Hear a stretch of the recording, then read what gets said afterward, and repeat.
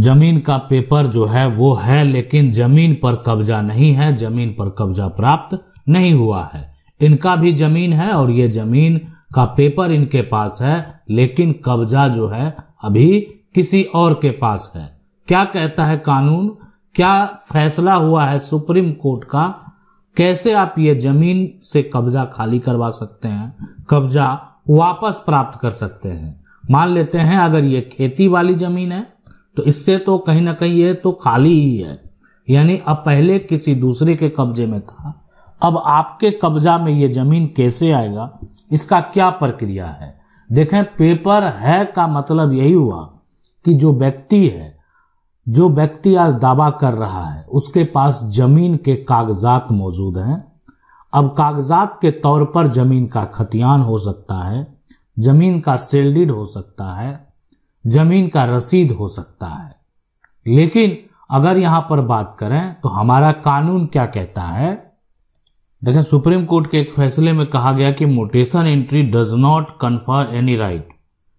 Title यहाँ पर की बात कर, करें तो कोई भी व्यक्ति जो है, कि अगर वो आपकी प्रॉपर्टी का म्यूटेशन करवा लिया है, यानी म्यूटेशन में अपना एंट्री करवा लिया है तो उसको कोई अधिकार नहीं है कि वो टाइटल का जो है यहाँ पर दावा कर सकता। है उसके फेवर में, यानी कभी भी एक तरह से आप जजमेंट नहीं हो सकता। उसके फेवर में कभी भी फैसला नहीं हो सकता। इसलिए नहीं होगा कि अगर कोई व्यक्ति ज़मीन का रसीद कटा लिया तो रसीद के तौर पर वो ज़मीन मालिक जो है यहाँ पर ज़मीन का मालिक बनने का दावा नहीं कर सकता। तो ये जो तीसरा पेपर अगर आपके पास है, ज़मीन का पेपर अगर पास में है, लेकिन कब्जा नहीं है, जो भी नहीं है तो इस पेपर के आधार पर तो आप कुछ साबित नहीं कर सकते।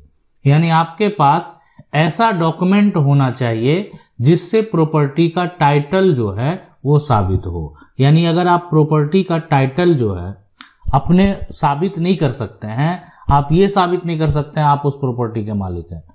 तो आप जो है, यानी कहने का मतलब है कि आपको कोई अधिकार नहीं है कि उस संपत्ति को आप उस पर जो है आप कब्जा बरकरार रखें या कब्जा प्राप्त कर लें। इसलिए कि कानूनी तौर पर उस पर आपका कोई अधिकार नहीं बनता। अब है कि कौन सा ऐसा डॉक्यूमेंट है? तो ज़मीन का अगर खतियान है सरकार के द्वारा अगर आपके आपके पिता को, आपके दादा को, या आपके परदादा को, या अन्य कोई जो आपके पूर्वज हैं उनके नाम से अगर प्रॉपर्टी का खतियान है तो ये इस डॉक्यूमेंट से आप प्रॉपर्टी का यहाँ पर टाइटल साबित कर सकते हैं। दूसरी जो यहाँ पर डॉक्यूमेंट है, वो है सेल्डेड अगर जो यहाँ पर मान लेते हैं आपके पूर्वज या आपके द्वारा, आपके पिता के द्वारा प्रॉपर्टी को खरीदा गया है तो सेल्डिड होना चाहिए। और इस डॉक्यूमेंट के आधार पर अगर आपका म्यूटेशन हुआ है तो आपको अपनी प्रॉपर्टी को वापस प्राप्त करने से कोई नहीं रोक सकता है। इसलिए कि इस प्रॉपर्टी पर अब आपका कानूनी अधिकार है और ये अधिकार आप प्राप्त कर सकते हैं। कब्जा विवाद के मामले में जो है, यानी कब्जा करने वाले को हमारा कानून जो है, एक अधिकार देता है, वो है एडवर्स पोजीशन का। अब ये जो यहाँ पर अधिकार है, वो ये अधिकार है कि कब्जा करने वाला जो है वो भी एक तरह से सिविल कोर्ट जा सकता है। सिविल कोर्ट में जाकर वो आपके ऊपर केस कर सकता है।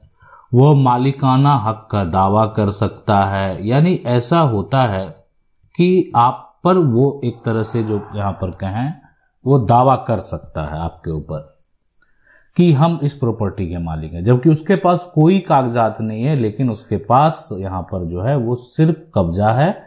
और कब्जा के आधार पर वो आप पर आरोप लगा सकता है और वो दावा कर सकता है। अब ये बात की बात है कि फैसला किसके पक्ष में होगा। लेकिन हमारा कानून ये कहता है कि कानूनी तौर पर प्रॉपर्टी का असली मालिक वही कहलाएगा जिसके पास प्रॉपर्टी का पेपर है। इसको अधिकार है, ये एडवर्स पोजीशन का दावा कर सकता है, कोर्ट जा सकता है, मालिकाना हक का दावा कर सकता है। अब हर सिचुएशन देखने के बाद डिपेंड करता है कि फैसला किसके पक्ष में आएगा। लेकिन अब यहाँ पर हमारा कानून क्या कहता है, यानी हमारा अधिकार ये कहता है कि कानूनी तौर पर कोई भी प्रॉपर्टी है, इसके मालिक का पहचान कैसे किया जाएगा? जिसके पास प्रॉपर्टी का कागजात होगा, जिसके पास प्रॉपर्टी का पेपर होगा, कानूनी तौर पर प्रॉपर्टी का मालिक वही कहलाएगा। अगर आपके पास प्रॉपर्टी का पेपर नहीं है तो आप यहाँ पर जो है प्रॉपर्टी के मालिक नहीं है। यानी कोई भी अगर प्रॉपर्टी खरीदने भी आएगा तो क्या देखेगा कि ये देखेगा कि इस पर किसी प्रकार का विवाद तो नहीं है।